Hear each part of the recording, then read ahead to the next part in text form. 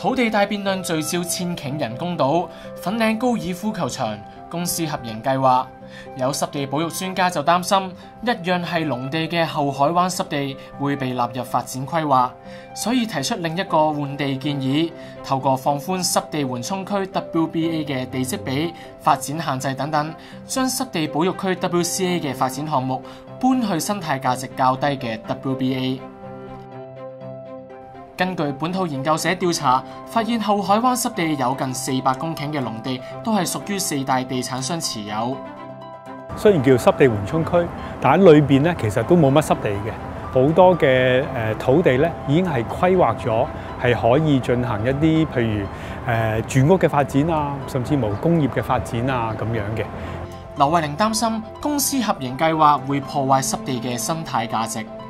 誒喺嗰啲地方嚟到釋放誒、呃、做發展嘅話咧，就會令到啲濕地係破壞啦。咁所以我哋亦都誒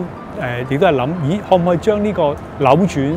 單單遷出濕地保育區 WCA 就可以起大屋，似乎對發展商太過着數啦。劉慧玲就話，對方亦都需要注資保育基金，由基金會有系統管理成個濕地。但係成立法定基金會最難嗰部分係各個持份者達成共識。